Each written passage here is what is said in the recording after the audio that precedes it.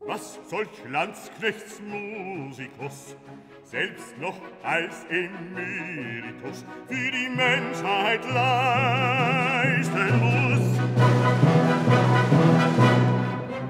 Guten Morgen, Konradin, sag, mein Freund, wo willst du hin? Siehst du's denn nicht? Ich will ins Schloss von gnädigen Herrn für unseren Tross fliegen fest nach rheinschen Sitten. Den Wein, den Wein zum Maifest zu erbieten, dass er mitspielen mancherlei uns hier alljährlich feiern lässt. Ach ja, heut ist ja der erste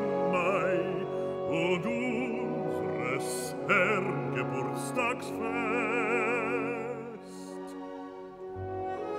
Mir scheint, du bist hier so beglückt, dass du dir ganzen, dir ganzen Welt entrückt.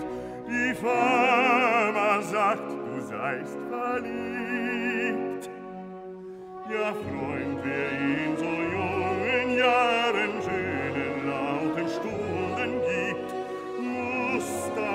Desir sein Herz bewahren. Freund, andere Zeiten, andere Lieder,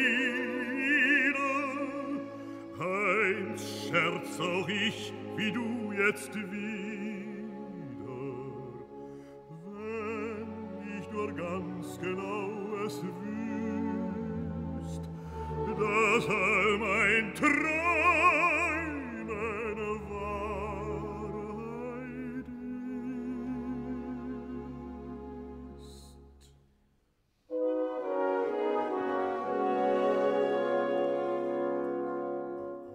Als ich zum ersten Mal sie sah, verstummte meine Worte.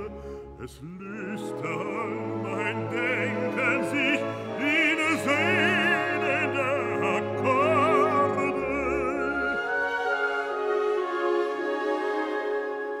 Doch nun steh ich der Trompeter da, musizierend aus der Ferne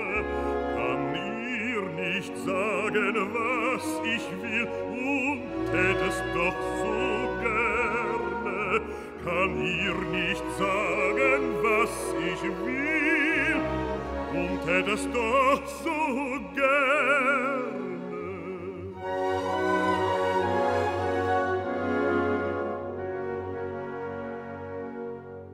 Da schlage ja das Wetter rein, es leuchtet doch wohl jedem ein, wenn's Feuer brennt, da schlägt es Flammen, bis mit dem schönen Schloss, Fräulein, doch nun schon manchen Tag zusammen. Gewiss, doch nie sind wir allein. Denn ihre gnädigste Frau Base steckt hier in alles ihre Nase.